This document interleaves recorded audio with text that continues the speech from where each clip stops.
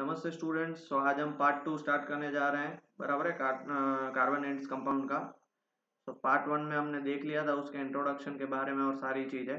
ठीक है? Covalent bonding भी देखे थे और हमने बहुत सारे कोवेलेंट बॉन्डिंग भी बनाए थे। ओके आज हम उसका थोड़ा सा एडवांस पार्ट पढ़ेंगे। लास्ट में हमने कोवेलेंट की प्रॉपर्टीज़ पढ़ी थी कोवेलेंट बॉन्डिंग की। तो यहाँ पे उसका डिफरेंस है। पहला डिफरेंस नेचर के वाइज आयोनिक कंपाउंड जो ऑलरेडी आपने चैप्टर टू में पढ़े कोवेलेंट कंपाउंड जो अभी पढ़े।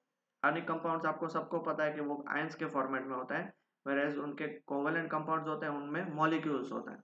क्योंकि हमने अभी देखा H और H H2 Cl Cl Cl2 OOO2 NNN2 ऐसे दूसरा सिंस ये आयंस है, इसलिए वो हार्ड सॉलिड्स होते हैं, बराबर है? बट ये क्या होते हैं? गैस भी होते हैं लिक्विड भी होते हैं और सॉफ्ट सॉलिड होते हैं। एक्सेप्ट दो डायमंड और ग्रेफाइट क्योंकि डायमंड सबसे स्ट्रॉन्गेस्ट होता है। डायमंड के बारे में हम पढ़ेंगे। आपको ये शायद पता नहीं होगा बट डायमंड जो है वो कार्बन से बने होते हैं। क्लियर दूसरा जो हम आज पढ़ने वाले हैं, उसका नाम है बॉइलिंग पॉइंट और मेल्टिंग पॉइंट बराबर these are non volatile with high boiling and high melting point volatile मतलब अपने आप को इजीली मज़ा है उसे में चेंज कर देंगे बट नॉन वॉलेटाइल मतलब इतना इजीली चेंज नहीं करेंगे। And these are volatile volatile मतलब चेंज कर लेंगे, इसीलिए उसकी बॉइलिंग और मोल्टिंग पॉइंट काफ़ी लो होती है। ठीक है? तीसरा electrical conductivity ionic compounds are good conductor of electricity but याद रखना है ये चीज़ के only in the molten state बराबर है? But act as a good conductor in the fuse और molten state where as covalent compounds में तो आयंस होते ही नहीं है, इसलिए क्या लिखेंगे? They are non conductor of electricity in solid molten और एक्वेस स्टेट कोई भी स्टेट में, ये हमेशा नॉन कंडक्टर होंगे। चौथा solubility these are soluble in water but insoluble in organic solvents तो कोवेलेंट कंपाउंड बिल्कुल उल्टे। कोवेलेंट कंपाउंड पानी में सॉल्युबल नहीं होते they are insoluble in water but dissolve in the organic solvent ठीक है? क्लियर हो गया?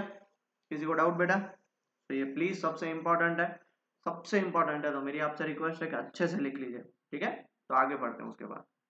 डन सो नेक्स्ट टॉपिक है हमारा allotropes of carbon and their properties अब व्हाट इज़ एलोट्रॉप्स तो एक बात मैं आपको समझाना चाहूँगा कि आप जब भी, भी छोटे थे तब और शायद अभी भी आपके छोटे भाई बहन होंगे तो आपको आइडिया होंगे क्ले आती है जिसको हम हिंदी में चिकनी मिट्टी भी बोलते हैं। क्ले का बच्चे के लिए अलग अलग शेप बना के खेलने के लिए क्ले आती है। क्ले एक ही होती है। उससे आप सर्कल बनाओ बराबर है उससे आप ट्राइंगल बनाओ उससे आप स्क्वायर बनाओ उससे आप रेक्टेंगल बनाओ बट बनी किससे है? क्ले से क्ले को ही आपने अलग अलग शेप दे दिया। क्ले को ही आपने अलग अलग उसका फॉर्म दे दिया। बराबर है? फिर कभी कभी उससे गाय बनाओगे कभी कभी उससे आप उसके घोड़ा बनाओगे कभी कभी उससे आप इंसान बनाओगे। है तो क्या? क्ले सो so, वैसे ही कार्बन जो है अपने आप को अरेंज करके अलग अलग शेप्स बना सकता है। अलग अलग अपने फॉर्म्स बना सकता है। ठीक है? So allotropy is the property by virtue of which an element exists in more than one form, and each form has different physical property but identical chemical property. अब देखो इसमें तीन चीज़ आई। पहली चीज़ क्या? Allotropy is what it is property जिससे element है, वो एक से ज़्यादा फॉर्म में एग्जिस्ट कर सकता है। Okay okay? सबसे पहली प्रॉपर्टी क्या आई? Exist in more than one form दूसरा each form has different physical property सबकी फ़िज़िकल प्रॉपर्टी अलग होगी। सबकी physical property in the sense कि भाई आपने क्ले से, आपने मिट्टी से इंसान मान लो सर्कल बनाया तो उसका जो रेडियस है, फिर सिलेंडर बनाओगे तो उसका रेडियस अलग हो जाएगा। कौन बनाओगे तो उसका रेडियस अलग हो जाएगा। मतलब सबकी फ़िज़िकल प्रॉपर्टीज़ क्या हो जाएँगी? उतनी क्ले से ही बनाओगे तो अलग क्ले ले ली तो अलग चीज़ है। बट उतनी क्ले पहले आपने इकट्ठा करके उसको स्फीयर बनाया। फिर इकट्ठा करके उसको आपने सिलेंडर बनाया। फिर इकट्ठा करके उसको आपने कौन बनाया। समझ में आया? तो उसकी फ़िज़िकल प्रॉपर्टी सबकी क्या होगी? अलग। बट केमिकल प्रॉपर्टी सबकी सेम क्यों? बने किससे हैं? क्ले से।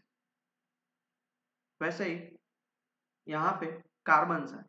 कार्बन को कार्बन ने अपने आप को अरेंज अलग अलग फॉर्मेट में कर दिया। मतलब उसकी केमिकल प्रॉपर्टी फ़िज़िकल प्रॉपर्टी अलग हो जाएगी बट केमिकल प्रॉपर्टी उसकी क्या रहेगी? Same and these different forms are called allotropes और ये जो अलग अलग फॉर्म्स होते हैं, उसे एलोट्रॉप्स कहते हैं। नीचे देखो दिखा हुआ है, पहला ग्रेफाइट है, दूसरा एमरफस कार्बन है, तीसरा डायमंड है, चौथा फुलरिन है कार्बन नैनो ट्यूब्स है ग्रेफिन है। ये जो ग्रेफिन नाम का बंदा है, वो दुनिया का सबसे लाइटेस्ट मटेरियल है और उसकी स्ट्रेंथ स्टील से भी ज़्यादा है। वो नैनो लेवल पे काम करता है। आपके अभी स्कोप में नहीं है, इसलिए हम यहाँ पे नहीं पढ़ेंगे। हमको यहाँ पे क्या पढ़ना है? एलोट्रॉप्स एलोट्रॉप्स मतलब ये सब कार्बन से बने हुए सब कार्बन से बने हुए ठीक है? सबका स्ट्रक्चर अलग अलग है। सबकी फ़िज़िकल प्रॉपर्टी अलग अलग होगी बट केमिकल प्रॉपर्टी मतलब सब बने किससे? कार्बन से। क्लियर हो गया? पक्का? चलो। इतना लिख लीजिए। ये डायग्राम्स बनाने की ज़रूरत नहीं है, सिर्फ़ आपको समझाने के लिए। ठीक है? आगे बढ़ते हैं।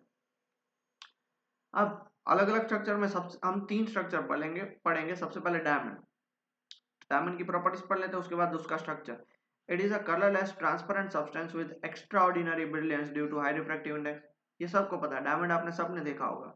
एक तो वो ट्रांसपेरेंट होता है। बराबर है? और उसमें से इतनी शाइन आती है, इसलिए उसकी एक्स्ट्रा ऑर्डिनरी ब्रिलियंस होती है। बट वो किसके कारण होती है? उसका रिफ्रैक्टिव इंडेक्स सबसे ज़्यादा होता है, इसलिए 2.42 याद हो तो। लाइट चैप्टर में पढ़ा। दूसरा it is quite heavy and extremely hard बहुत ही ज़्यादा हैवी होगा। आप बोलो सर, हमने तो डायमंड को हाथ में पकड़ा है। वो इतना सा पीस है। उसकी डेंसिटी काफ़ी ज़्यादा होती है, इसलिए वो काफ़ी हैवी होता है। उसका मास ज़्यादा होता है। और एक्सट्रीमली हार्ड ये तो आप जानते हो, उसको आप थोड़े से मारोगे तो भी वो नहीं टूटेगा। तीसरा it does not conduct electricity why क्योंकि उसके पास कोई फ्री इलेक्ट्रॉन्स नहीं होता। हर एक हर एक कार्बन एटम दूसरे चार कार्बन एटम से जुड़ा हुआ है तो कोई भी फ्री तो है ही नहीं। और शेयर कर रहे हैं, इसलिए वो कोई भी फ्री इलेक्ट्रॉन्स भी नहीं रहेगा। But it has high thermal conductivity and high melting point thermal conductivity high का मतलब क्या होगा? उसके अंदर से हीट इजीली पास हो सकती है। और दूसरा, उसका मेल्टिंग पॉइंट काफ़ी हाई होता है। वो जो कार्बन है उसका मैं शेप आपको दिखाऊँगा, ठीक है? वो सब अपने आप को ऐसे पकड़ के बैठे रहते हैं कि उनको तोड़ना it's very difficult melting point मतलब क्या? कि भाई उसको सॉलिड से लिक्विड में कन्वर्ट करना। बराबर ना? बट उसकी मेल्टिंग पॉइंट काफ़ी ज़्यादा होते हैं। ठीक है? अब बात करते हैं उसके स्ट्रक्चर की। तो it is a molecule of carbon atoms in which each carbon bonded to four other carbon atoms forming a three dimensional network structure which is responsible for its hardness sorry क्या बोला? हमें कुछ पता नहीं चला। समझो। जायंट मॉलिक्यूल ऑफ़ कार्बन मतलब एक बड़ा सा कार्बन का मॉलिक्यूल है। जिसमें हर एक कार्बन मॉलिक्यूल दूसरे चार कार्बन मॉलिक्यूल के साथ जुड़ा हुआ है। Okay bounded to four other carbon forming a rigid three dimensional structure three dimensional structure मतलब थ्री डी स्ट्रक्चर जिसको आप चारों तरफ़ से देख सकते हो और वो आप उसको फील कर सकते हो। थ्री डी स्ट्रक्चर मतलब डायमंड आपने देखा? थ्री डी स्ट्रक्चर सबको पता है। और यही रीजन है कि वो काफ़ी हार्ड होता है। उसका नेटवर्क इस हिसाब से होता है। दूसरी बात हम बात करूँ तो अगर आपने गोल पोस्ट देखा होगा, उसमें नेट लगती है, फ़िश पकड़ने के लिए जो नेट लगती है, उन सबका जो स्ट्रक्चर होगा, वही स्ट्रक्चर किसका होता है? डायमंड का होता है। Okay? Moreover, a lot of energy is required to break the network of strong covalent bonds in the diamond crystal. Therefore, its melting point is very high. अब उनके जो बीच के बॉन्ड्स होते हैं, उनको तोड़ने के लिए काफ़ी ज़्यादा एनर्जी चाहिए होती है। सौ, दो सौ, ढाई सौ, तीन सौ, चार सौ डिग्री नहीं, बहुत ही ज़्यादा हीट देनी पड़ती है, तब वो उसके बॉन्ड टूटेंगे। और तब उसके बाद वो चेंज होगा। बराबर है? कभी कभी तो बोला जाता है 2000 3000 डिग्री सेल्सियस भी टेम्परेचर उसको चाहिए। ओके? तो ये उसकी प्रॉपर्टी है, ये उसका स्ट्रक्चर है। बराबर है? Please pause the video note it down ये रहा उसका स्ट्रक्चर ऐसा देखो स्ट्रक्चर बनाना नहीं है, याद रखना, आपको एग्ज़ाम में आया तो काम आ सके। हर एक कार्बन आइटम है, वो दूसरे चार कार्बन आइटम से जुड़ा हुआ होता है। अब बोलो सर, यहाँ पे तो वो तीन से ही जुड़ा हुआ है। देखो, ये कार्बन आइटम है, एक, दो, तीन और चार हो गया। ये कार्बन आइटम एक, दो, तीन और चार। अब बोलो सर, ये कार्बन आइटम देखो, ये कार्बन आइटम एक, दो, तीन और चार हो गया। सर, ये कार्बन आइटम तो एक, दो, तीन। सर, ये चौथा कहाँ गया? अरे भाई वो हमने छोटा सा पार्ट लिया, वो शायद इस साइड भी हो सकता है या इस साइड भी हो सकता है। तो ऐसा नहीं मानना है कि वो चौथा दिख नहीं रहा है तो एग्जिस्ट नहीं करेगा। हमेशा वो एक कार्बन एटम दूसरे चार कार्बन एटम से जुड़ा होता है। और जो दोनों कार्बन एटम्स के बीच का जो बॉन्ड, बीच का जो बॉन्ड होता है, बॉन्ड, उसकी लेंथ होती है 154 पाइकोमीटर। पाइकोमीटर मतलब कितना होता है? 154 fifty four into ten S to minus twelve metre okay clear हुआ? एक नोट याद रख लेना diamond can be prepare artificially by subjecting pure carbon diamond आप आर्टिफिशियल ये सारे तो नेचुरली एक्टिंग होते हैं। आप लेबोरेटरी में भी सिंथेटिक भी बना सकते हो। क्या करना है? प्योर कार्बन लेना है। उसको इतना ज़्यादा प्रेशर देना है। अब वो कितना ज़्यादा प्रेशर है तो वो साइंटिस्ट लोगों को पता, और बहुत ही ज़्यादा टेम्परेचर देना। अब इसके कारण क्या होगा? कि वो जो डायमंड है सॉरी वो जो कोल कार्बन है, वो किसमें कन्वर्ट हो जाएगा? डायमंड में कन्वर्ट हो जाएगा, ठीक है? This synthetic diamonds are small but are indistinguishable from nature diamond but since इसको आप लेबोरेटरी में बना रहे हो तो इतना बड़ा तो डायमंड बनेगा नहीं, बहुत छोटे डायमंड्स बनेंगे। बट उस छोटे डायमंड को आप नॉर्मल डायमंड के साथ कंपेयर करो तो आप उसको पता नहीं कर पाओगे भाई कौन असली और कौन नकली है। दोनों आपको क्या लगेंगे? सेम लगेंगे। क्लियर हुआ? तो this is very important point अच्छे से लिख लीजिए, फिर हम दूसरे स्ट्रक्चर की तरफ़ आगे बढ़ते हैं। मैं वापस बता रहा हूँ, ये डायग्राम बनाने की ज़रूरत नहीं है। बनाओगे तो अच्छा है, याद रह जाएगा, बाकी बनाने की ज़रूरत नहीं है। ठीक है? Pause the video note it down okay बेटा तो अब जब हम सेकंड देखने जा रहे हैं, उसका नाम है ग्रेफाइट ग्रेफाइट आप सब लोगों ने देखा होगा। पेंसिल के लीड पे होता है ग्रेफाइट बराबर है? उसकी प्रॉपर्टीज़ क्या होता है? It is grace black opaque substance सबसे पहला क्या वो? ग्रेस ब्लैक बराबर है ब्लैक होता है। आपने पेंसिल की निब देखी होगी तो वो जनरली आपके पास अभी कंपास में होगी। देख लो, क्या होता है? ग्रेस ब्लैक होती है और वो ओपेक होता है। दूसरा it is lighter than diamond smooth and slippery to touch वो डायमंड से भी स्मूथ होता है और उसका टच जो है वो काफ़ी स्लिपरी होता है। Okay lighter than diamond diamond से स्मूथ क्या? डायमंड से वो लाइट होता है स्मूथ होता है स्लिपरी टच तीसरा it is good conductor of electricity क्यों? डायमंड जो है वो बैड कंडक्टर है तो ये क्यों गुड कंडक्टर हुआ? बिकॉज़ उसके स्ट्रक्चर के कारण due to the presence of free electron तो ये जब हम स्ट्रक्चर पढ़ेंगे, तब आपको पता चलेगा but it is a bad conductor of heat diamond और ग्रेफाइट दोनों अपोजिट है. डायमंड क्या था? गुड कंडक्टर ऑफ़ हीट था. ये बैड कंडक्टर ऑफ़ हीट है. अब ये उसके पास ये फ्री इलेक्ट्रॉन है, और कभी भी इलेक्ट्रॉन बेसिकली इलेक्ट्रिसिटी मतलब क्या? फ्लो ऑफ़ चार्जेस ठीक है? चार्जेस को आप फ्लो करोगे तो इलेक्ट्रिसिटी जनरेट होगी तो उसके पास चार्जेस मतलब इलेक्ट्रॉन पड़ा है. वो फ्री इलेक्ट्रॉन है, वो मूव होता रहेगा तो इलेक्ट्रिसिटी कंडक्ट करेगा। अब उसका स्ट्रक्चर कैसा होता है? Graphite crystal consist of layers of carbon atoms और शीट ऑफ़ कार्बन एटम वो ऐसे, एक के ऊपर, एक के ऊपर, एक के ऊपर, एक ऐसे शीट होती है उनकी। ठीक है? ना each carbon atom in graphite, each carbon atom in graphite layer is joined to three other carbon atoms by a strong covalent bonds to form a six hexagonal rings a flat hexagonal ring एक carbon atom दूसरे तीन के साथ जुड़ता है। अगर diamond में क्या था? एक कार्बन एटम चार के साथ जुड़ रहा था यहाँ पे एक कार्बन एटम तीन के साथ जुड़ रहा है। तो कार्बन को चाहिए चार तीन जोड़ लिए तो चौथा जो पार्ट है वो तो फ्री बचा इसलिए वहाँ पे प्रेजेंस ऑफ़ फ्री इलेक्ट्रॉन्स आया। However, the fourth electron of each carbon atom is free, which makes it a good conductor of electricity. तो free है इसलिए वो easily घूम सकता है।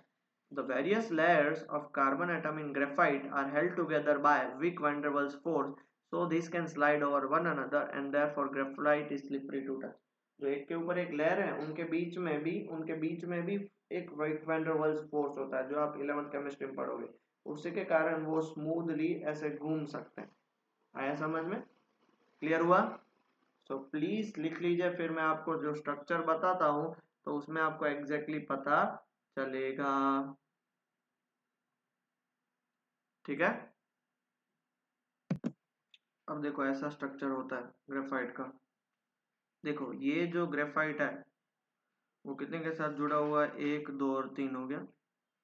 सिमिलरली ये ग्रेफाइट है, वो कितने के साथ जुड़ा हुआ है? एक, दो, तीन। सिमिलरली ये ग्रेफाइट एक, दो। अब बोले से तीसरा कहाँ? तो तीसरा यहाँ पे, उसका सिर्फ़ छोटा सा पार्ट लिया अब ये जो है, वो फ़र्स्ट शीट है। ये जो है, वो सेकंड शीट है। और ये जो है वो थर्ड शीट है। अब उनके बीच में ये जो डॉट डॉट है, उनको हम क्या बोलते हैं? वीक वंडरवल्स फोर्स ठीक है? अब उसी के कारण ये एक दूसरे पे क्या हो सकते हैं? स्लाइड हो सकते हैं। इसलिए वो क्या होता है? स्लिपरी इन टच क्लियर हो गया? इसलिए वो क्या होता है बेटा? स्लिपरी इन टच ठीक है? ओके तो ये डायग्राम भी याद रख लेना, बनाना हो तो बना सकते हो बट याद रखना। और दूसरा हेक्सागोनल स्ट्रक्चर की बात करते हैं। देखो, एक रिंग में एक, दो, तीन, चार, पाँच और छह एक रिंग में छह है। सिमिलरली एक, दो, तीन, चार, पाँच और छह ऐसे वो रिंग्स बनाते हैं हेक्सागोनल रिंग्स बनाते हैं। क्लियर ठीक है, आगे बढ़ते हैं। नेक्स्ट इज़ फुलरिन और ये सबसे तीसरा है। अब जो पहले दो एग्ज़ाम्पल थे डायमंड और ग्रेफाइट वो नेचुरली एग्जिस्टिंग है। ये इसको उन्होंने लेबोरेटरी में बनाया। These are recently discovered allotropic form of carbon which are prepared for the first time by तीन लोगों ने एच डब्ल्यू क्रोथो ने स्मॉली ने और रॉबर्ट कर्ट ने by the action of laser beam on the vapours of graphite graphite के vapours पे laser beam मारी। तो आप लोग ये मत करना आपके पास पेंसिल होगी उसकी ग्रेफाइट की बीम पे लेजर मारोगे तो, तो उससे नहीं होता। ये पूरा ग्रेफाइट उनका अलग होता है लेजर अलग होती है फ्रीक्वेंसी अलग होती है पूरा एनवायरमेंट ऐसा क्रिएट किया जाता है लेबोरेटरी में फिर बनता है। फिर उन्होंने देखा तो उससे उन्होंने को दो चीज़ मिली। The first non fullerene was C sixty which contain sixty carbon atoms तब उनको फुलरिन सबसे पहले मिला। और ये फुलरिन नाम क्यों दिया? वो भी आगे आएगा। ठीक है? आपको मुझे पता है, सबसे दिमाग में आपको सबसे पहले आएगा कि फुलरिन नाम क्यों दिया। हाँ तो सिक्सटी कार्बन एटम्स जुड़ के उन्होंने एक ऐसा बॉल जैसा स्ट्रक्चर बनाया। ठीक है? अब उसमें थोड़ा बहुत प्रोपोर्शन सी सेवेंटी का था and traces of compounds up to three seventy carbon atoms मतलब थोड़े बहुत सेवेंटी कार्बन एटम्स वाले भी थे, थोड़े बहुत दो सौ, तीन सौ, साढ़े तीन सौ और थ्री सेवेंटी तक के थे। ओके? थोड़े बहुत ही, वो भी ज़्यादातर सी सिक्सटी ही था। सिक्सटी कार्बन एटम सबने अपने आप को इस शेप में अरेंज कर दिया अब मैं आपको पूछू, ये कौन सा शेप है? तो आप बोलोगे, सर, ये तो बॉल का शेप है। बॉल जो होता है ना, वो यहाँ पे पूरा फिक्स कव होता है। तो ये देखो, यहाँ पे थोड़ा सा फ्लैट है फ्लैट है फ्लैट है। अब ये जो एक्चुअली है ना, ये डोम लाइक स्ट्रक्चर है। ठीक है? डोम लाइक स्ट्रक्चर है। अब ये डोम लाइक स्ट्रक्चर है तो इसका डायग्राम हमारे American architect Robert Buckminster Fuller ने दिया था पहली बार।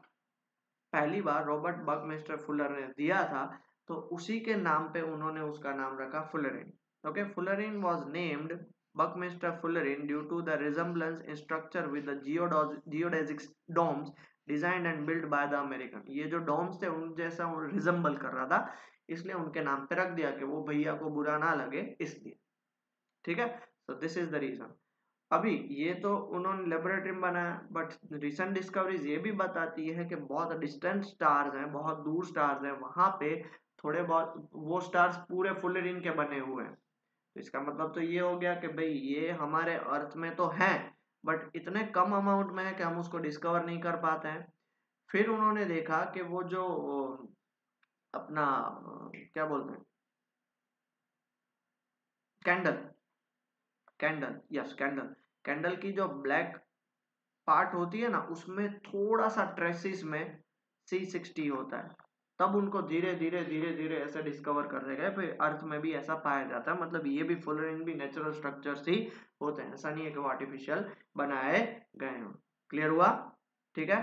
तो please pause the video diagram बनाने की ज़रूरत नहीं है। ओके ओके बेटा। अब देखो, ऐसे फुल रिंग बहुत सारे स्ट्रक्चर्स होते हैं। सी ट्वेंटी फोर भी होता है ट्वेंटी एट भी होता है थर्टी टू भी होता है थर्टी सिक्स भी होता है सेवेंटी सिक्सटी और फिफ्टी इतने सारे फुल रिंग के स्ट्रक्चर्स हो सकते हैं। तो ये सिर्फ़ आपको just for your kind knowledge मैंने बता दिया, बाकी अब याद रखना नहीं है। ठीक है।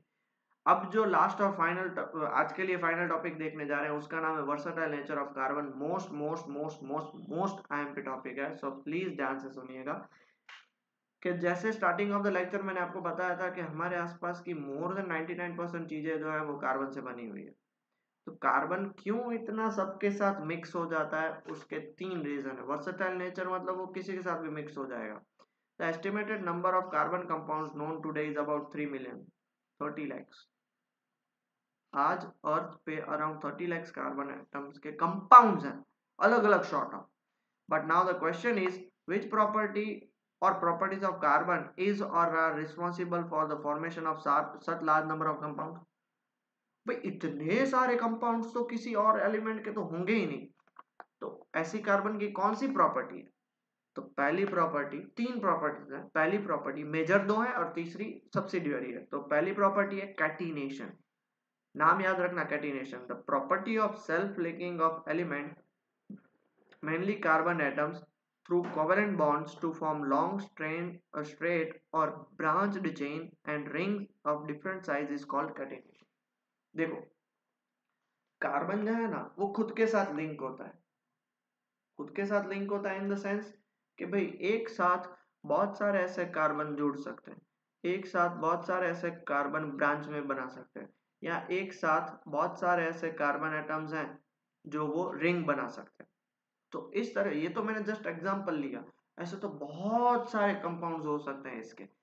तो वो खुद के साथ लिंक हो सकता है उस प्रॉपर्टी को बोलेंगे कैटिनेशन जैसे ये देखो, ये लॉन्ग है स्ट्रेट ये है ब्रांच्ड और ये है रिंग्स वो अलग अलग फॉर्मेट में बन सकता है. Carbon shows maximum catenation in the periodic table due to it small size and strong C C bond सबसे ज़्यादा क्यों ये कैटिनेशन बनाता है? दो रीजन के कारण. एक तो उसकी साइज़ सबसे छोटी है और दूसरा कि दो सी सी बॉन्ड सी के बीच में जो बॉन्ड्स होते हैं वो काफ़ी स्ट्रॉन्ग होते हैं। हेंस वो स्टेबल होता है। इसीलिए सबसे ज़्यादा कैटिनेशन ये दिखाता है। तो क्या कार्बन के अलावा और कोई नहीं दिखाता है? दिखाते हैं। कार्बन के अलावा दो और हैं। एक है सल्फ़र और दूसरा है सिलिकॉन जो ऐसी सेल्फ लिंकिंग की टेंडेंसी दिखाते हैं। दैट इज़ कैटिनेशन दिखाते हैं। बट कार्बन जितनी नहीं। कार्बन को तो आप, आपको मैं कंपाउंड का नाम देता हूँ। C seventeen H thirty five O O N A सत्रह कार्बन एटम्स होते हैं इसमें। एक साथ ज्वाइंट और ये क्या पता है? सोप है, जिसको आप सुबह सुबह उठकर नहाते हो। ओके सत्रह ऐसे लॉन्ग चेन कार्बन होते हैं। क्लियर हुआ? तो बट सल्फ़र और सल्फ़र तो हमने देखा था एसाइड सिलिकॉन ज़्यादा से ज़्यादा एस फोर बन सकता है। बट इसके अलावा तो कोई नहीं दिखाता है। ओके तो याद रखना, एक मार्क में क्वेश्चन आ सकता है। Sulfur and silicon also a tendency to show the property of self linking that is catenation, but to a much lesser extent, due to less bond energy or less bond strength काफ़ी कम bond energy के कारण होता है, इसलिए। ठीक है? Clear हो गया? Please pause the video note it down जल्दी से। अब ये बॉन्ड एनर्जी लेस है, इसलिए इनके बीच में बॉन्ड इजीली टूट जाएँगे, ये बात चल रही है, और कुछ बात नहीं चल रही ठीक है? तो ये रहा, देखो, ये है स्ट्रेट चेन ये है ब्रांच्ड चेन और ये है रिंग्स इस तरह से वो अलग अलग अलग स्ट्रक्चर्स बना सकते हैं। तो ये बनाने का आपको नहीं है, सिर्फ़ समझाने के लिए मैंने आपको बताया।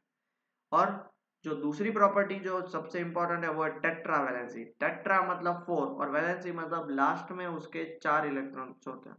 Carbon belongs to group 14 of the periodic table. Its atomic number is 6 and the electronic configuration is 2 4 2 4 two comma four मतलब उसको ऑक्टेट फुलफिल करने के लिए और चार चाहिए. वो हमारे डिटेल डिस्कशन लास्ट लेक्चर में हो चुका है. Thus it has four electrons in the outer most shell last shell में उसके चार इलेक्ट्रॉन होते हैं. Hence its valence is four that is it is capable of bonding or pairing with four other carbon atoms or with the atoms of some other mono element like hydrogen halogen bromine etc इसलिए वो क्या करेगा दूसरे चार के साथ वो combine हो सकता है मान लो कि वो H के साथ भी हो सकता है और वो Cl के साथ भी हो सकता है ब्रोमीन के साथ भी हो सकता है किसी के साथ भी हो सकता है मोनोवेलेंट मतलब कि जो सिंगल वैलेंसी वाले होते हैं उनके साथ वो कंबाइन हो सकता है ओके, ये भी दूसरी इंपॉर्टेंट प्रॉपर्टी है। तीसरी प्रॉपर्टी है tendency to form multiple bonds ऐसा कोई ज़रूरी नहीं है कि वो मोनोवेलेंट के साथ हो सकता है। जैसे आपको पता है कार्बन डाइऑक्साइड तो वो डबल बॉन्ड्स भी बनाता है। उसके अलावा एक और स्ट्रक्चर है H C N hydrogen cyanide वो ट्रिपल बॉन्ड्स भी बनाता है। Due to it small size carbon has a strong tendency to form multiple bonds by sharing more than one electron pair with its atoms with the atoms of other elements like oxygen, nitrogen, sulfur और etcetera oxygen के साथ भी nitrogen के साथ भी सबके साथ वो अलग अलग बॉन्ड्स बनाता है। As a result it can form a variety of compound that are exceptionally stable इसलिए वो अलग अलग अलग double bond single bond triple bonds वाले कितने सारे कंपाउंड बना सकता है। इसलिए तो आज उसके थर्टी लैक कंपाउंड्स हमको आज तक नोन है।